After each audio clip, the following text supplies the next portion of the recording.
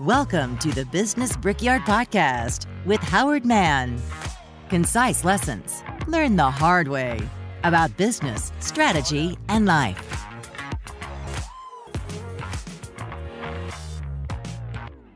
Oh no, not another business podcast. Well, yes and no. I think there are more than enough business interview podcasts where the host asks the guest for all of their secrets to their incredible success.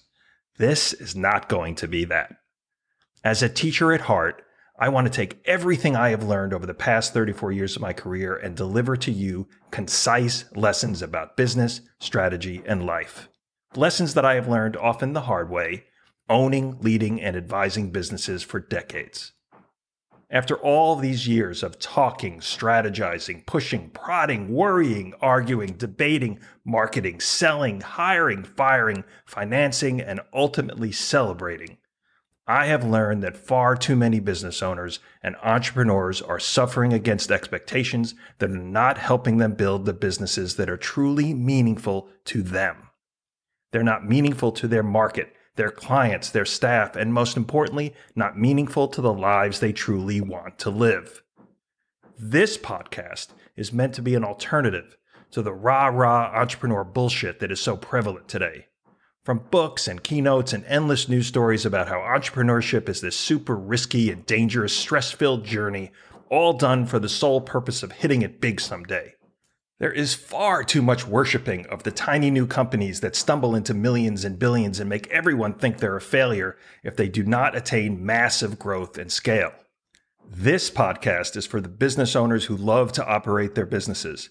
Even more, it is for those business owners who used to love their businesses and now not so much. The ones who started their business because they had a passion to create something great but somewhere along the way, the pressure to grow at all costs buried what is awesome about their business and sapped them of their passion and maybe even their smile. If you will allow me, I would like to be your teacher, coach, Sherpa, and cheerleader so your business can get back to what excites you a business that does fewer things but does them better than anyone else, a business that allows you to have fun, make money, and do some good. To me, that is what business should be. So that is what the Business Brickyard and this podcast is all about. Just like any new venture, I'll be figuring this out as I go. I hope you'll join me on this journey. Subscribe wherever you listen to your podcast, and share your feedback and even your stories with me. Now, let's get to work. This has been the Business Brickyard Podcast with Howard Mann.